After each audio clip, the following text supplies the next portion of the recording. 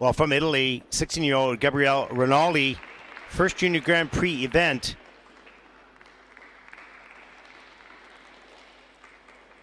The skating the short program here to A New King and Thor Legacy, the Dark World soundtrack.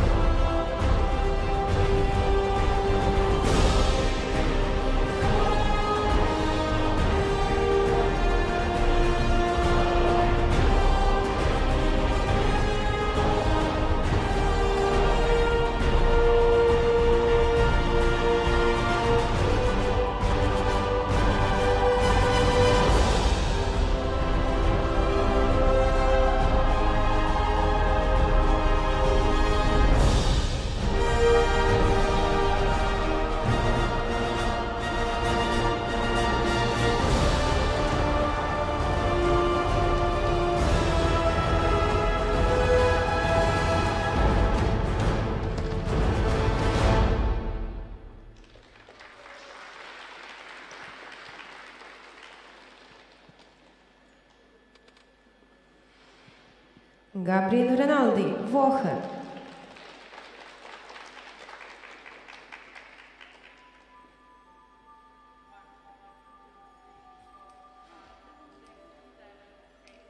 A physically very strong skater. Sometimes use your strength too much instead of technique. That's happened on the loop. Just swung that upper body and lost control. Had to double that out. We'll see that in just a moment. So physically strong. Here's a bracket or counter there. There's the triple loop attempt, but didn't get straight up in the air, didn't get into rotation. Had to go up into the double toe loop right away, so just a double double. Pardon me. And then there's the triple flip. No problem there. A little tidy up, stretch the arms out, stretch the free leg, polish that up a little bit, the double axel.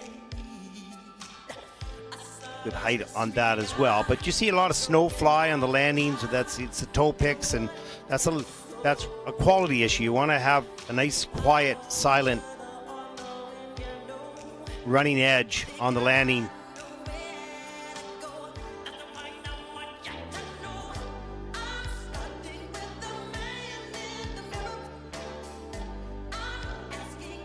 Some of the step sequence in that comes in at a level two, so physically very strong, just working out the details of how to use technique versus strength. Of course, you need some strength and technique during the technique. The technique, the timing is everything. like that in pairs. It's hard just to lift the girl. You have to lift it on timing with her takeoff. So